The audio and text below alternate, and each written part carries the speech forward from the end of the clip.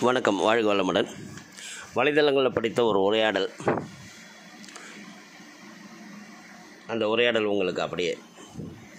நேற்று மாலை திருமண வரவேற்பு ஒன்றில் கலந்து கொண்டு விரிந்து முடித்து கொண்டு கை கழுவது கையை கழுவுதுங்கிறதுக்காக வாஷ் பேஷனுக்கு சென்றேன். எந்த இடத்துல ஹேண்ட் வாஷ்னு எழுதியிருக்குதோ அங்கே போனோம். எனக்கு அருகில் இருந்த டாக்டர் நண்பர் ஒருவர் சார் கையை மட்டும் கழுவுங்க வாயை கொப்பளிக்காதீங்க என்று சொன்னார். நான் குழப்பத்தோடு ஏன்? என்று கேட்டேன். அதற்கு அவர் சார் பெரும்பாலான கல்யாண மண்டபங்களில் உள்ள மேல்நிலை தொட்டிகள் சரிவர சுத்தம் செய்யப்படாமல் இருக்கலாம். பொதுவாக கல்யாண மண்டபங்கள் தினசரி உபயோகத்தில் இருக்காது. அதன் காரணமாக தொட்டியில் தேங்கி நிற்கிற தண்ணீரில் பாக்டீரியாக்களும் வைரஸ்களும் பெருகி இருக்கும். உடம்பில் நோய் எதிர்ப்பு சக்தி குறைவாக இருக்கிறவங்க அந்த தண்ணியால் வாய் கொப்பளிக்கும் போது அந்த வைரஸ் பாக்டீரியாக்கள் தொண்டைக்குள் போய் த்ரோட் இன்ஃபெக்ஷன் ஏற்பட வாய்ப்பு அதிகம். அப்படின்னா வாய் கொப்பளிக்க என்ன பண்ணுறது டாக்டர் என்று கேட்டேன். கொப்பளிக்கணும்னா நாம் உட்காந்து சாப்பிடும்போது குடிக்கிறதுக்காக தண்ணீர் பாட்டிலில் வைப்பாங்க இல்லையா? அந்த பாட்டிலை கையோடு எடுத்துகிட்டு வந்துடணும்.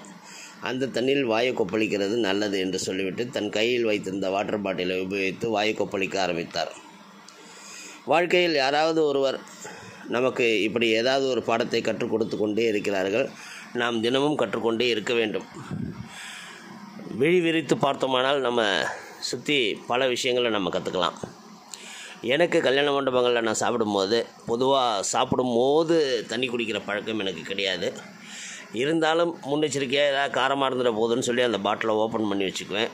பொதுவாக மேக்ஸிமம் டைமில் அந்த தண்ணி பாட்டிலை ஓப்பன் பண்ணாமே திரும்ப கொடுத்துட்டு வருவேன் எடுத்துகிட்டு போய். அப்படி குடிக்கிறதுக்கு ஓப்பன் பண்ணிட்டேன்னா அந்த தண்ணியை கையில் எடுத்துகிட்டு தான் வாஷ் மிஷின் போவேன்.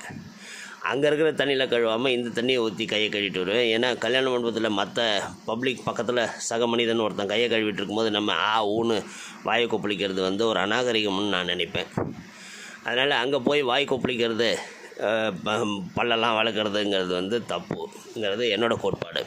அதனால் முடிந்தவரை ஏன்னா அந்த தண்ணி பாட்டில் வைக்கிறத நிறைய பேர் அதில் தண்ணியை சும்மா வாயை சிப்பு கூட பண்ணாமல் அப்படியே வேஸ்ட் பண்ணுவாங்க. அதை அப்படியே அள்ளி கொண்டு போய் வெளியே போடுவாங்க. எவ்வளோ தண்ணி வேஸ்ட் ஆகுது ஜஸ்ட் யோசிச்சு பாருங்கள் அதனால் அந்த தண்ணி என்னோட கருத்து வந்து அந்த தண்ணி வேஸ்ட் ஆகக்கூடாதுன்னு நான் அதை யூஸ் பண்ணுவேன். இப்போ இந்த பதிவில் படிக்கும்போது இவங்க சொல்கிற லாஜிக்கும் கரெக்டாக தான் இருக்குது. ஏன்னா அந்த நீர்த்தேக்க தொட்டிங்கிறது தேங்கி நிற்கிற தண்ணியாக இருக்கும். முகூர்த்த நாளில் மட்டும்தான் கல்யாண மண்டபங்கள் யூஸ் ஆகும். மற்ற நாளில் அது யூஸ் ஆகாதனால அதில் பாக்டீரியா வைரஸ் இருக்கிறதுக்கு பெரும்பாலும் சான்சஸ் உண்டு. அதனால் நம்ம அந்த மாதிரி வாய் கொப்பளிப்பதை தவிர்ப்போம். வாழ்க வளமுடன்.